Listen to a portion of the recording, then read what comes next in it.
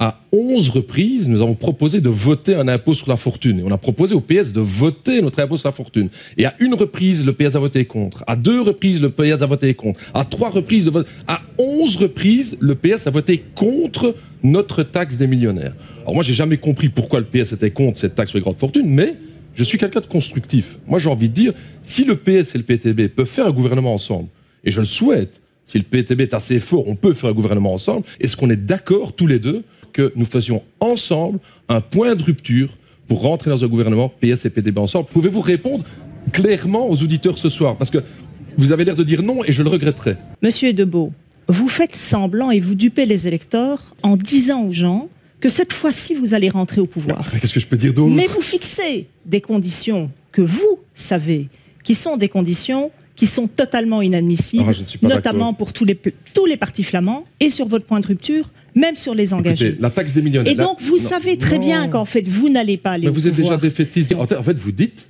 qu'il n'y aura pas de taxe des millionnaires, en fait, parce que c'est déjà perdu d'avance. Ah, voilà. Donc c'est dans votre programme, mais on n'aura pas dans le gouvernement. Moi, je vous dis, sous l'impulsion de la gauche, de plus en plus de partis doivent parler de faire payer les plus riches. Même le VLD doit en parler, même la NVA est obligée de dire que les riches devront contribuer. On a créé un rapport de force grâce au PTB, grâce aux organisations syndicales, grâce à la société civile. On peut aller chercher ça.